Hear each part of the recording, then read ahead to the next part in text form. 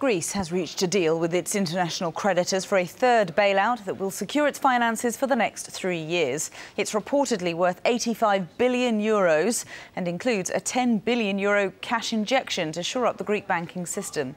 In return, the Athens government has agreed not to spend more than it raises in income. The Commission team has worked day and night to deliver on the Euro Summit statement and on the expectations of the Eurogroup. This work was done hand in hand with the IMF, the ECB, and the ESM on the ground. The institutions and the Greek authorities achieved an agreement in principle on a technical basis, and talks are still ongoing on finalising details. Earlier in the programme, we spoke to Philip Pangalos, a journalist in Athens.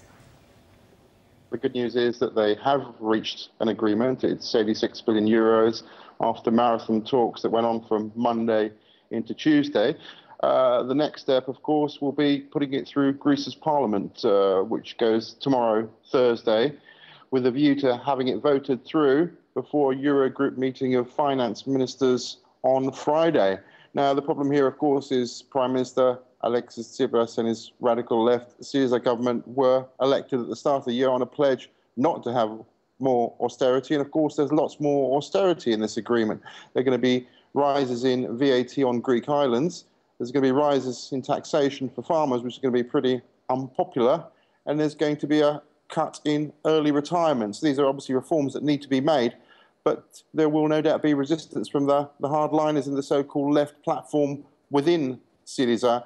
It's likely to be passed, again, with the backing of pro-European opposition MPs, but it's going to be tough. Also, there's a certain amount of disbelief in some of the other uh, European capitals, especially amongst uh, more hardliners like the Germans, who feel that some of the details on this agreement are still a little bit vague. And the other matter that we should bear in mind, of course, is this is more austerity. These are going to be recessionary measures. Greece has slipped back into recession. The economy is expected to contract by at least 3% this year.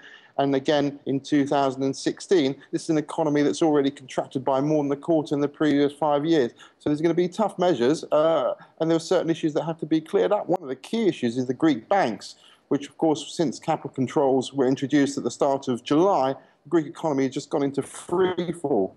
Uh, Greek savers have taken their money out from the Greek banks, and also non performing loans are, are skyrocketing as companies uh, fall further behind and individuals. So the banks have to be recapitalized. It's estimated they need something like 25 billion euros. Uh, and also the whole big, big question about Greece's debt and whether it's sustainable. And I think the answer to that is it isn't.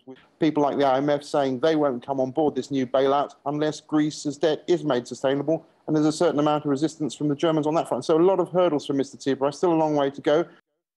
Philip Pangalos there in Athens.